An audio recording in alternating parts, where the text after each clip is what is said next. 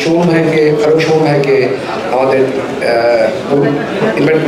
আমাদের police সুন্দরপুরের Nazira experience আসসালামু আলাইকুম। ফিল্মে আমার জার্নিটা একেবারেই নতুন বলতে পারেন। আমি দিন এতে ছোট্ট একটা রোল করেছি। পরবর্তীতে সৈকত ভাইয়ের সাথে আমার পরিচয় হয় এবং আমি সাডেনলি গল্পের ভিতরে ঢুকে যাই গল্পটা যখন শোনাই আসাদ জামান লিখেছেন গল্পটা, অনেক সুন্দর একটা গল্প।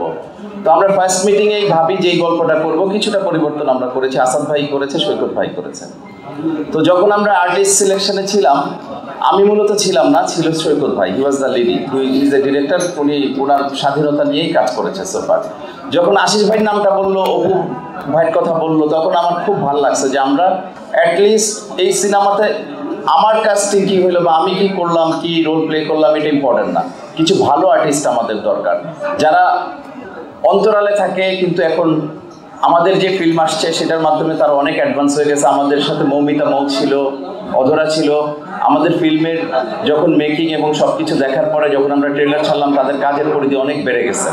সো তার মানে এটা প্রমাণ করে যে মানুষ আমাদের ফিল্মটা গ্রহণ করেছে। The film we started the name with border এখানে আমাদের সেন্সরে কিছু ঝামেলা ছিল, ওগুলো আমরা খুব সুন্দরভাবে পার করে ফেলেছি, কিছু কারেকশন করেছি, কিছু রিশুট করেছি। So end of the day the movie is very good আমরা বারবার দেখেছি। আর আমার ব্যক্তিগত ধারণা যে দর্শক এই ছবিটা দেখবে, আমি পুলিশ অফিসারের কাজটা করেছি।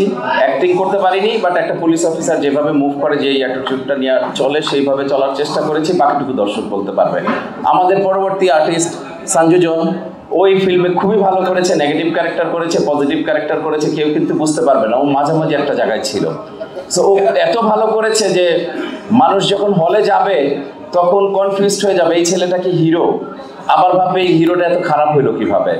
All about Saikat Nasir he designed it like this so আমরা সুলতানপুরের বেস্ট সাকসেস কামনা করি। Thank you so much thank you